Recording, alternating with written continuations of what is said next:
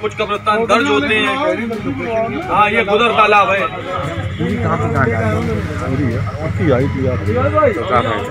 फरुखाबाद में बीते 9 दिसंबर को हुई महिला की मौत का मामला लगातार गहराता ही जा रहा है।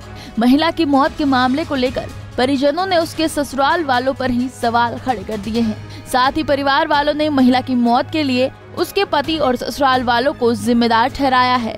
दरअसल जनपद अलीगढ़ के थाना सिविल लाइन निवासी ने रिपोर्ट दर्ज कराई कि उनकी बहन इमराना को शादी के बाद से ही उनके पति और ससुराल वाले दहेज की मांग को लेकर प्रताड़ित कर रहे थे। उनका आरोप है कि बीते 9 दिसंबर को उन्हें पता चला कि उनकी बहन की मौत हो गई।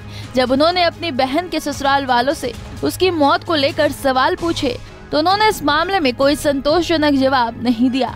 इसी के कारण महिला के परिवार वालों ने उसके शव को कब्र से निकलवाकर दोबारा पोस्टमार्टम कराए जाने की मांग की। वहीं परिवार वालों की शिकायत के आधार पर डीएम ने एसडीएम गौरव शुक्ला की मौजूदगी में कब्र खुदवा कर शव को दोबारा पोस्टमार्टम का आदेश दिया। मृतिका के भाई का कहना है कि उसकी बहन की मौत हादसे में नहीं हुई बल्कि उसे मारा गया। तो साढ़े छह बजे जसीम का फ़ोन आया। जी। कि तुम्हारी बहन का मुझे गिरी हुई मिली है। मैं रात सो के जब उठा देखा तो गिरी हुई मिली उनके सर में चोट थी, उसी वजह से मृत्यु हो गई। हम लोग अलीगढ़ आए, आके देखा कि गिरने के पर हमने उनसे क्वेश्चन भी किया, सबसे पहले तो नाक लगनी चाहिए। नाक पे कोई चोट का कोई निशान नहीं, माथे पे तीन चार निशान, बंदा गिरेगा तो एक निशान आना चाहिए। जिसकी वजह से वो कोई तसली बख्श जवाब नहीं दे सके। काफ़ी तू तू मैं रही, काफ़ी बातचीत रही है उन्होंने हमें सेटिस्फाई किया नहीं, ऐसा नहीं है, वैसा नहीं है, वो नहीं है। हो सकता ना हो। काफ़ी टाइम के बाद में फिर चलिए, आप सही कह रहे हो, आपकी बात मान लेते हैं। जब उनको नहलाने का उसका टाइम आया तो देखा तो बहनें भी आया गई थी। उन लोगों नाक से, मुँह से खून आया उसके और उन्होंने बताया कि और भी जिसम पे चोटों के निशान मौजूद हैं उनके।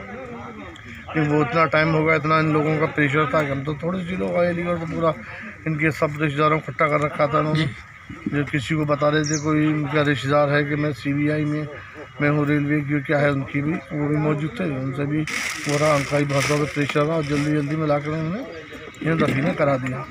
लेकिन जैसे पहले टोन थी दफीने के बाद में बिल्कुल उनका अपना नेचर बातचीत में उसमें बदल गया। पहले तो हमसे कहते रहे बच्चों के नाम ज़मीन कर देंगे वो कर देंगे। उसके बाद में फिर आहिस्ता आहिस्ता जैसे जैसे टाइम गुजरा है। तो हम लोग, हमारी खाला भी यहीं रहती हैं उनके घर चले गए। फिर आहिस्ता आहिस्ता बातें मालूम होना शुरू हुई, पड़ोस से दूसरी जगह से रात में कोई गाड़ी बताती हैं आई लेट नाइट इनके घर पर जिसमें कुछ लोग आए। क्योंकि मेरे भारी बहन जो है, भाई जिसम काफ़ी भारी थी, इनकी माँ की भी सेहत ऐसी नहीं है, ये दो लोग मिलकर उसका कुछ बिगाड़ सकें।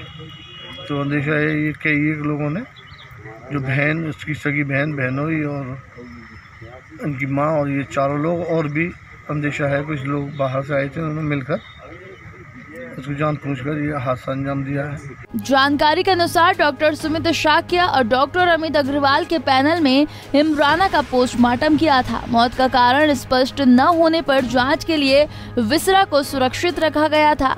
साथ ही महिला के माथे पर चोट का निशान पाया गया था। इसी आधार पर महिला के शव को कब्र से निकालकर दोबारा पोस्टमार्टम के लिए भेज दिया है। फरुखाबाद से दिलीप कटिहार की रिपोर्ट।